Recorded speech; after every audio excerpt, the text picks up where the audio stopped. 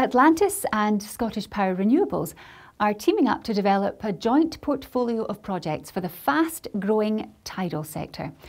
Atlantis's Scottish project development vehicle, Tidal Power Scotland Limited, will acquire Scottish Power's portfolio of tidal projects in exchange for a 6% shareholding in TPSL.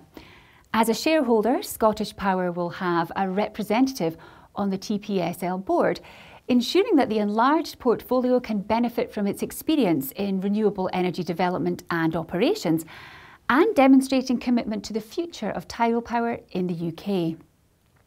The SPR tidal power portfolio consists of two sites a 10 megawatt project at the Sound of Islay in western Scotland and a 100 megawatt development at the Ness of Duncansby at Scotland's north-eastern tip. Those projects will sit alongside the flagship 398 megawatt MeyGen project, which is 85% owned by TPSL.